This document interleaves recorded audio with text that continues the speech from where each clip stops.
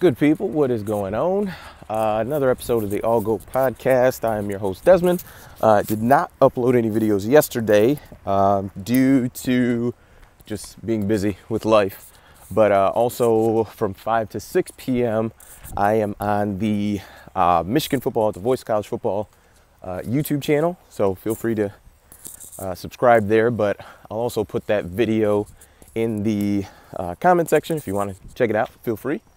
Uh, but anyway, uh, a lot has happened in the uh, good old Sunday football as well as Monday night football as well. But uh, first person I'd like to talk about is good old Aaron Rodgers.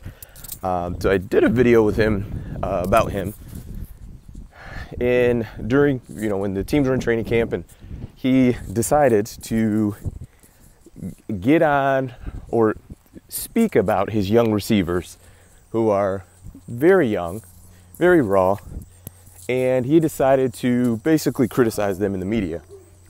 And my thought on that was, why the heck would you do that? Like, these are guys that, number one, you're going to need to be successful for you to be successful, for your team to be successful. Davante Adams isn't there anymore. He's catching a whole bunch of passes from Derek Carr and for a whole lot of yards. And you need these young guys to be playing at their best. And I would make an argument that you're better off encouraging them or just in the media not saying anything than you would be to criticize them in public. There's nothing worse to your confidence than number one, already practicing poorly like not having a great practice, kind of sucks. Then after practice, you get, you know, you, you see on Twitter and ESPN and all that, that your quarterback, who is a Hall of Famer, and we, we know all about Aaron Rodgers, um, but a very respected voice in the NFL, is criticizing you. That's not going to help either.